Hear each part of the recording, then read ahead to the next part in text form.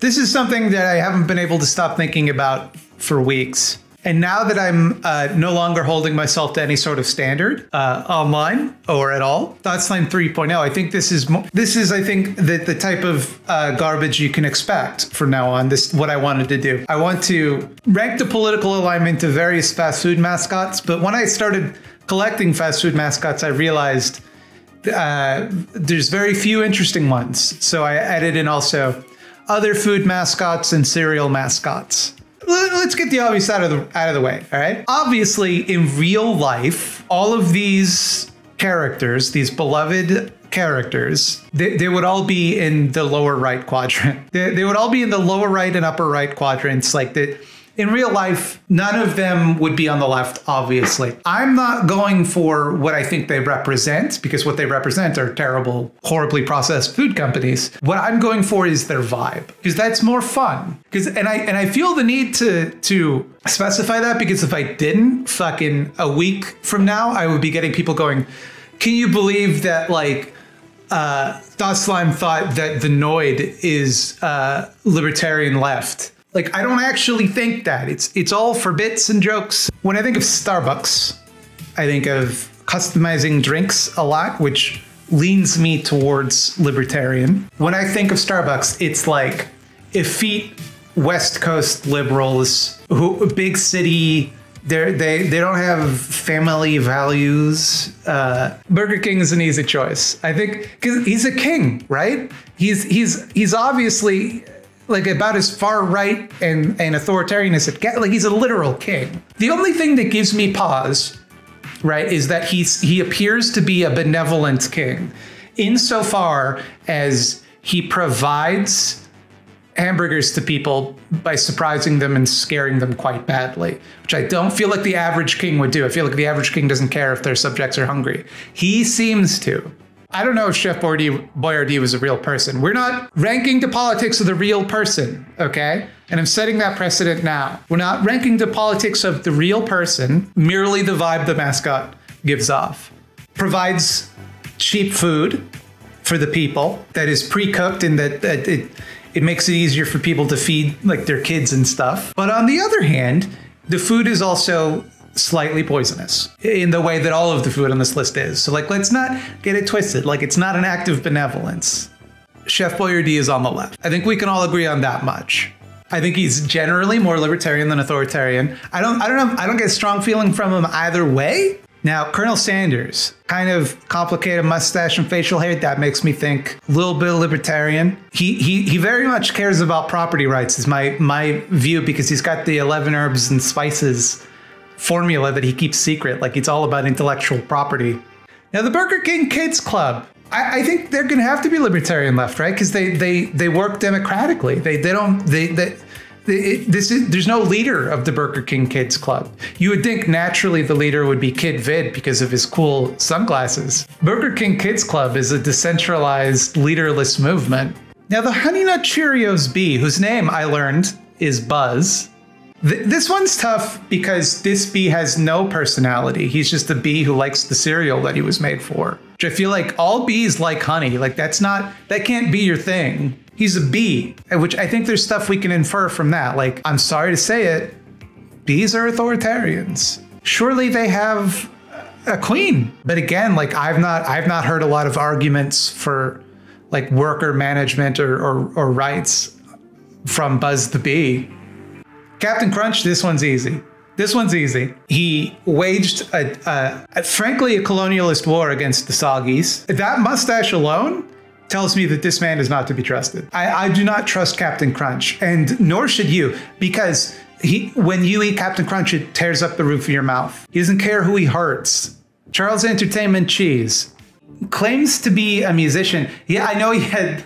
I know recently there was that uh, article about how Charles Entertainment Cheese's raps are surprisingly anti-capitalist, but I, I don't believe him. This is the only guy on this list that has his own currency, and that should tell you something. Charles Entertainment Cheese has his own script. Pillsbury Doughboy. I get a very centrist vibe from the Pillsbury Doughboy. He's soft, malleable. Now, the Green Giant, primitivist for sure.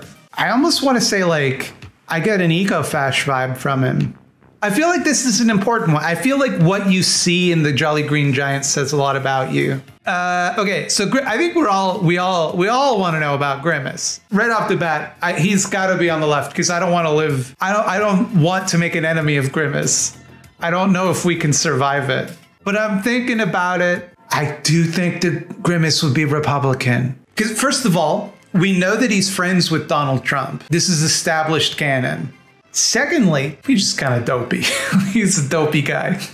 It breaks my heart. It breaks my heart. I think we can we can change him. We can pull him back from that dark abyss. But like Grimace definitely Grimace definitely believes in QAnon. Grimace is not going to get the vaccine. I don't think. Yeah, I'm seeing a lot of judgment in chat, but I'm not seeing a lot of evidence to move Grimace. Uh, now see, th- see here. Now this is an interesting point. Grimace is made of milkshakes, which we know kills fascists. I do think, like, obviously, the Hamburglar libertarian. Obviously, like, we're not kids here. And I like that he takes the burgers from the the burger aristocracy in McDonald Land. I like that he takes them from Mayor McCheese. But he and and and I, and my, I like I feel like there's an illegalist bent to him for sure. Like he definitely doesn't obey the rules of the state, and I like that. But I don't I I I don't see him sharing his hamburger his his t- stolen hamburgers with with his comrades in arms. Like he seems to work alone. Maybe like an egoist. Really think about this, everybody. I'm sorry to I'm sorry to rain on your parade and like bring out some of the hard truths about some of these mascots. But if he is truly like a threat to the power structure of Mayor McCheese, why is Ronald McDonald friends with him? Because Ronald McDonald is the dog of the state. What kind of what kind of political affiliation does a baby have? Answer. They're liberal. I no, I I some of you, some of you I think are judging Baby Nut by the crimes of Mr. Peanut, and I don't think that's fair.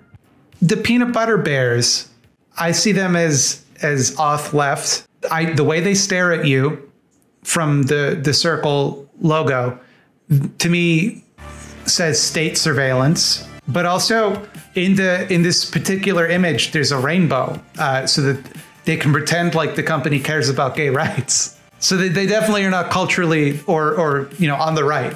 Uh, I think we can agree with that. I don't eat this kind of peanut butter anymore. It's not it's not only because I'm scared of the mascot, so it's definitely a part of it.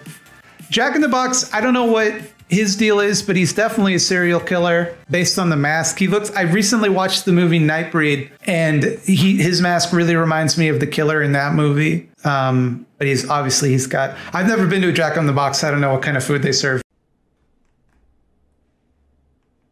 Now, Jollibee, I don't know nothing about Jollibee. Are they a bakery? I've driven by a Jollibee once. Fried chicken and spaghetti? First of all, that's the most leftist shit I've ever heard. Ah, I got a lot of opinions about Kool Aid Man, to be honest.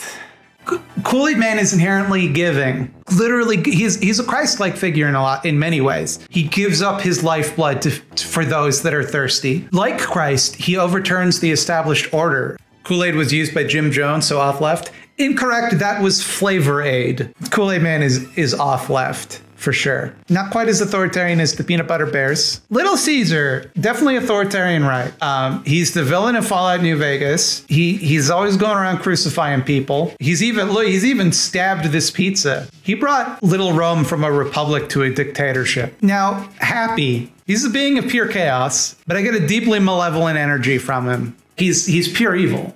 And I think he's not other than that, he has no ideological thinking. He's he's just out to spread suffering. And I'll stand by this. I don't care who, who disagrees with this one. I do not believe that Happy Meals are ideologically communist. Mr. Peanut, I, there, there's there's no more bourgeois peanut than Mr. Peanut. I have never seen a more bourgeois peanut in my life. Like he he literally sells other peanuts to be eaten. I think he's like an ANCAP for sure the sponge monkeys. Definitely strong chaos energy so definitely not authoritarian. You could not they will not obey you. That being said they won't protect you. They don't care about you. I'm not going to do ronald mcdonald by the way until last. I think that's only fair. I think he's he's by far the most powerful of the mascots and thus requires the most consideration the A&W root bear obviously is a bear. This this inclines me to move these guys. I struggle. I, I, I don't know if I can make an objective judgment on the A&W root beer. When I was a kid, for some reason, a disproportionate amount of my Christmas ornaments on my Christmas tree were the A&W root bear. The fact that he's a bear, right? Like we've established the precedent that bears are off left. We can't avoid it any longer. We must discuss the Noid. The Noid and the, and the Hamburglar, natural mirrors of one another. The Noid is a benevolent figure because, of course, he was the hero of the game Yo Noid. Like now, the Noid is back. The Noid is doing his thing. He's still around. He's stopping these the Domino's self-delivery cars. Like he came out of retirement for one last job because he sees these like auto delivering cars like taking jobs from people that need them and he's like i gotta stop this i got i gotta respect the noid and I like I like too that the Noid isn't in it for credit. The Noid the Noid hides himself from the world. No one cared who he was until he put on the mask. His reasoning is pure. He hates pizza and he hates robot cars. So Tony the Tiger. I know that a lot of you are probably horny for Tony the Tiger, but we can't let that influence our decision, okay? Can we agree to set that aside for now? He's very encouraging. He's an uh, example of positive masculinity. You know, he, he, encourages people to to exercise and, and get fit, but at the same time, you know, keep it a little sweet, have a little fun. I will. It's a good point. Tony the Tiger does have the red handkerchief.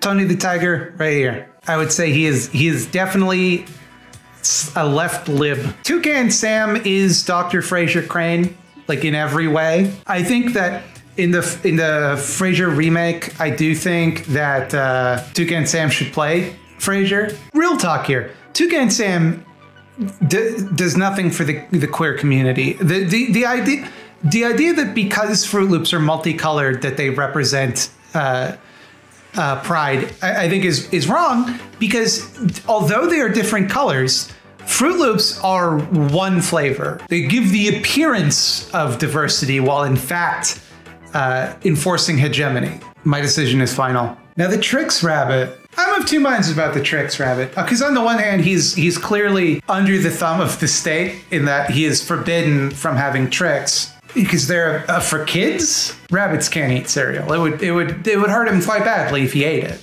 But then again, who am I to judge? Who am I to judge? Th- this is me mirroring the language of the oppressor, I think, because the, I'm trying to decide what's best for the Trix Rabbit, as though he's not able to d- decide that for himself. The, the problem is, I don't feel like the Trix Rabbit is allowed to be himself and, and become who he's meant to be. He's he's held back by not getting the cereal that seems to be the only thing he wants. Trix Rabbit definitely has a sense of entitlement. Does he? Does he though? Uh, all he wants is a bowl of cereal. All he wants is one bowl of cereal that is constantly withheld from him. I also, Wendy, again, it's hard to say because no personality whatsoever.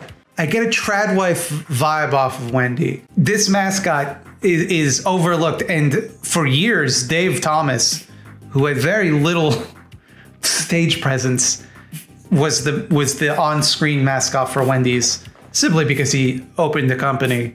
You know, that, that tells me the, Wendy Wendy doesn't want the spotlight. And now for the main event, Ronald McDonald. I think we can acknowledge Ronald McDonald and I have our ideological differences, but I have to respect he's done a great deal of work for charity. You don't have to you don't have to like him, but I think that we can acknowledge this. That being said, I do feel that a lot of Ronald McDonald's friends are food that is sold at McDonald's that he then sells and lets people eat for money. Aside from Grimace, MAGA Republican, as we've established, uh, and Birdie, like all of his friends, McDonald's food, and I guess Hamburglar as well. Charity buys favorable views.